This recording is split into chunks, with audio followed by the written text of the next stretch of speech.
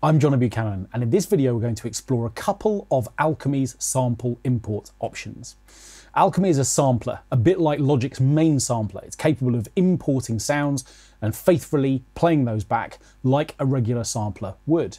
But it's also capable of some slightly more esoteric, sort of special effect approaches to sampling, and we're going to look at one of those within this video as well. So let's start with regular sample import. What I'm going to do is to set up Alchemy on this instrument track here, it's, it happens to be in my most recently uh, used instruments. If it's not for you, no problem. It's just further down here, a little bit in the list. And what we have a chance to do here is to just load Alchemy. So straight away, what we're greeted with is this uh, interface, which allows us to go and find um, uh, sounds from within the enormous uh, array of sounds that are offered to us when we uh, first install the program. But what we want to do instead is to start completely from scratch, not to use any of the pre-selected sounds, but to start from a completely empty place.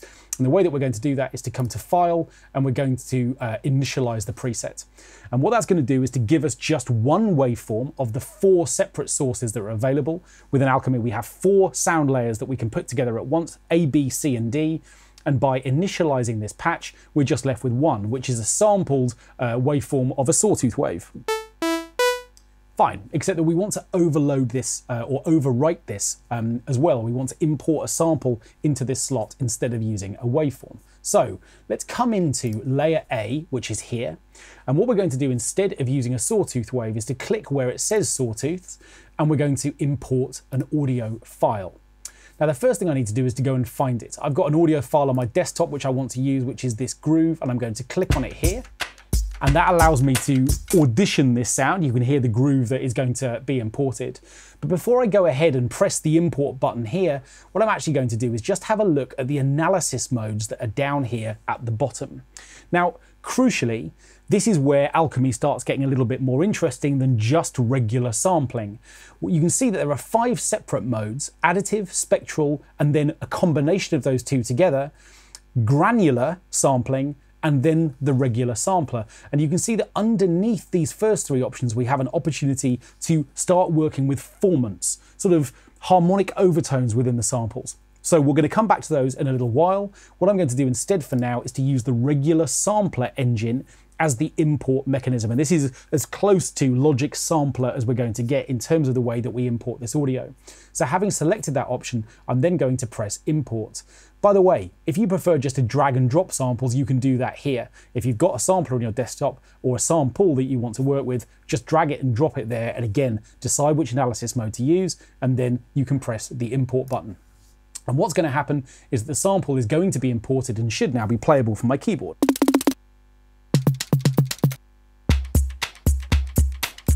Okay, so we can see that it's been mapped, and like a regular sampler, what we've obviously got is playback over the key range, and because it's a, um, a sort of looped groove, the higher I play, the faster it will be, and the lower I play, the slower it will be. So far, so straightforward. So what we've got then is a range of tools kind of around this um, interface, which allow us to start thinking about how we want to work with this sampler. So straight away, what I could do if I wanted to would be to reverse it. So the little reverse button is over here on the right hand side which of course is going to play the loop backwards if I want it to, and that's fine. And then over here on the left-hand side, we've got some other controls. We've got volume and pan and our coarse pitch, so I'm in a position to change its uh, transposition if I want to.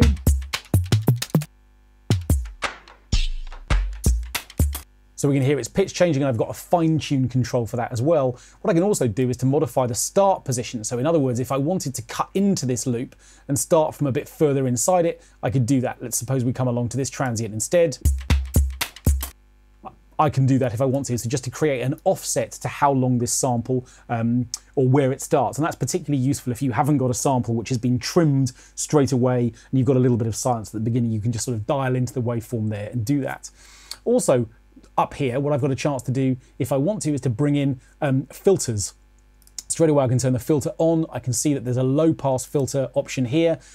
Um, what we've got is a lot of choice here within Alchemy. So I've got separate filters which can be applied to just this sound layer. Um, and so I can then begin to apply some uh, tone change to this sound.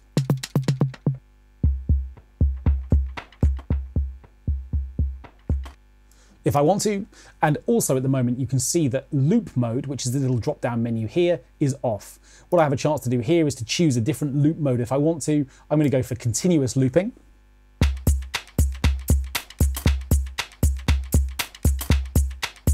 Or if I want to, I could try forwards and backwards.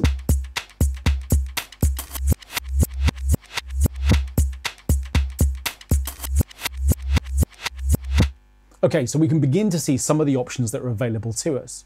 Now, if we want to go further, let's just turn the loop mode off again for a second. I can press the edit button and this brings up a sample editor, a bit like Logic's own sampler. We have a chance to choose all of the zones and the key ranges up here. Now, we've just got one sample mapped across the entire keyboard for now, and that's where how I want to keep it. But what I could do would be to bring in a range of samples and decide which key range they're going to play back across. And we've got this um, opportunity to sort of go in here a little bit harder and, and actually maybe select start and end points for our loop as well. So if I wanted to, what I could do would be to, uh, to adjust these. And what you'll see is that when you grab these end tags, what will happen is that the loop, the, um, the actual region uh, uh editor here will zoom in. If I just hold on this um, endpoint, you can see that the zoom is changing, allowing me then to go and find really nice fine bits of this audio file just to allow me to make a really crucial choice about what I want this to be. When I let go of it, it snaps back to its um, original function. So in terms of being able to kind of set start and end points and create edits, if you want to use Alchemy as a regular sampler, remember what we've done so far is to import that sample by dropping into the file menu and hitting uh, sample import and then what we've done um, is to just begin to familiarize ourselves with some of the more typical standard uh, sort of sampling options that are available to us within that area. So that deals with how to import samples within Alchemy using Alchemy as close to a regular sampler as we might experience. And of course, what we could do would be to go into um, sort of areas B, C, and D, load separate samplers into those as well, or separate samples, and begin to layer up sounds that way. You begin to see just how extraordinarily expressive and powerful an instrument it can be when you have those four separate uh, sort of available sample engines all available at once. But what we're going to do now is to set up another instance of Alchemy. And this time, what I'm going to do is to use one of the other sampler import options. Again, what I'm going to do is to come to File, and I'm going to initialize the preset to get rid of the currently selected patch. And again, what I'm going to do is to come into where it says the sawtooth um, option, and I'm going to come to Import Audio. Now again, what I'm going to do is to browse to that same loop again so we can just begin to see how one of these different engines produces a different approach to sample manipulation compared to the regular sampler. So I'm going to come back to the desktop and come and find my groove again. It will audition automatically. But this time what I'm going to select is the granular option instead.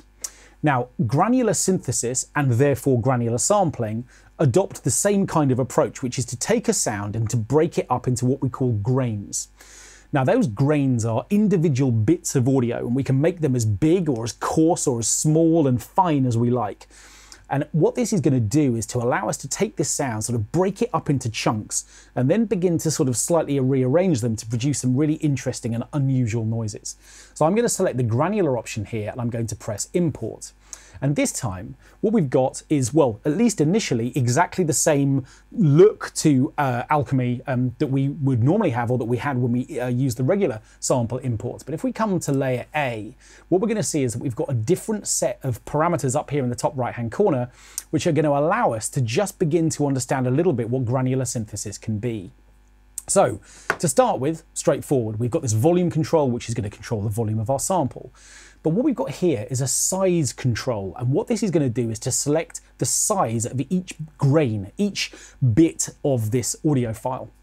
Let's just begin to experiment with some of these parameters and begin to see what happens when we break our sample up into individual grains or bits of sound.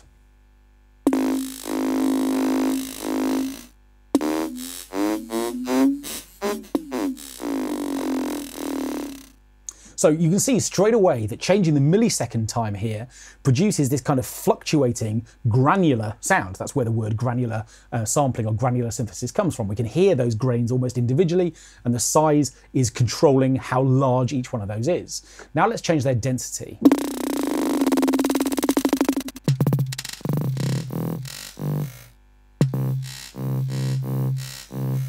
Okay, now before I go any further, what I'm going to do is to come over to the loop mode over here. And again, what I'm going to do is to choose forwards and backwards. And what I'm going to do here when I trigger this sound is that we're going to just begin to obviously hear this sound playing forwards and backwards, but in combination with size and density, we're going to start getting some really interesting effects.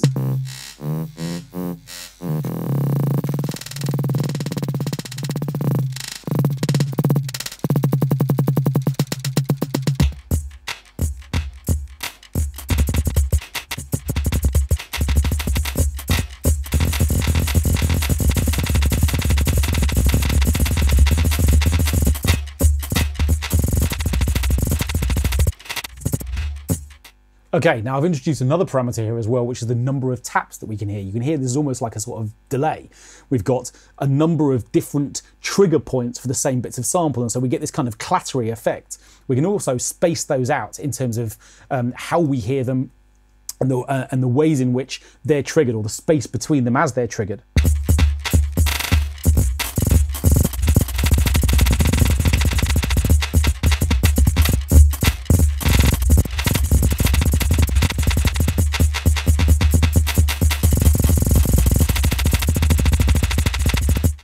So we're beginning to get this kind of chaotic but kind of really interesting sound.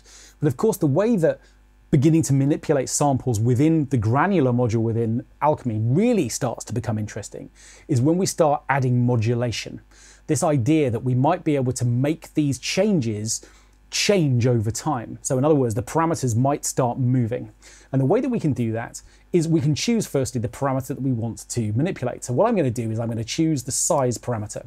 And the moment I click on it, you can see that over here in modulation, that parameter uh, springs to the top of the list. It becomes my immediate target.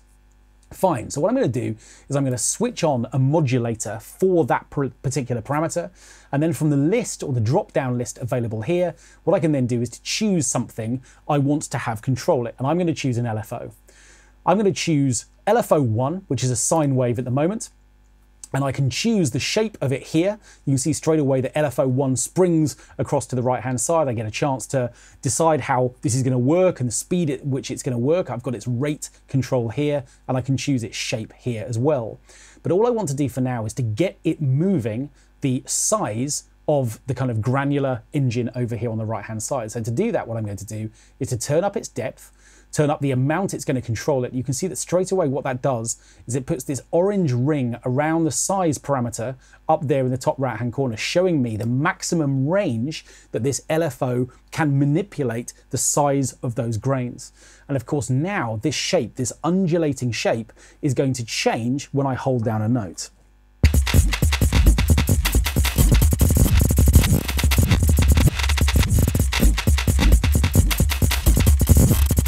Let's take it out of sync mode and slow it right down.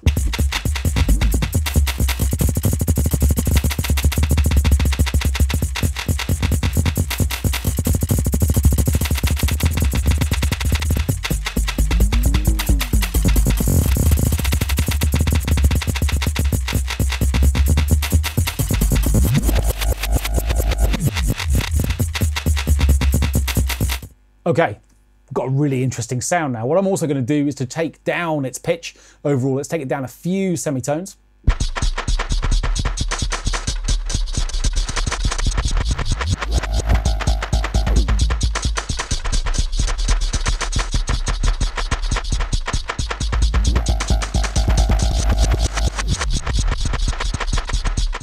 Okay, now what I'm also going to do is to set up a second modulation routing.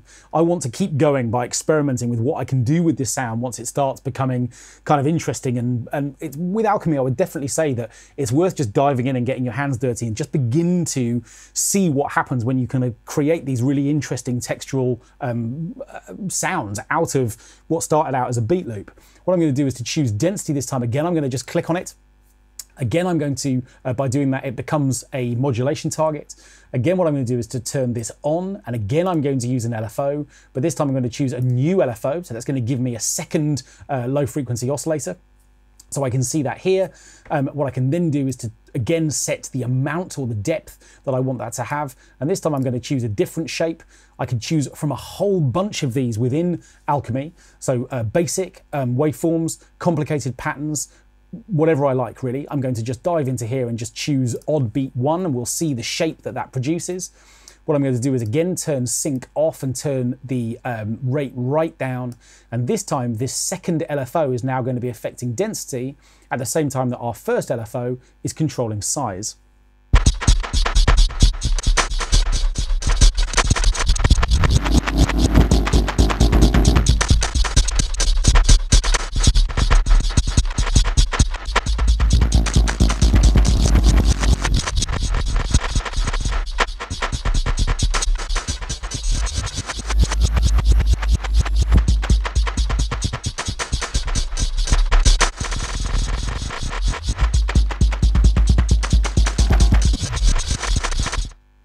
So in this video, what we've done is we've looked at two separate ways of working with Alchemy's extraordinary sampler engines. To start with, what we did was to import a sampler, the kind of a sample the sort of more conventional way, using the main sampler engine and beginning to experiment with some of its parameters.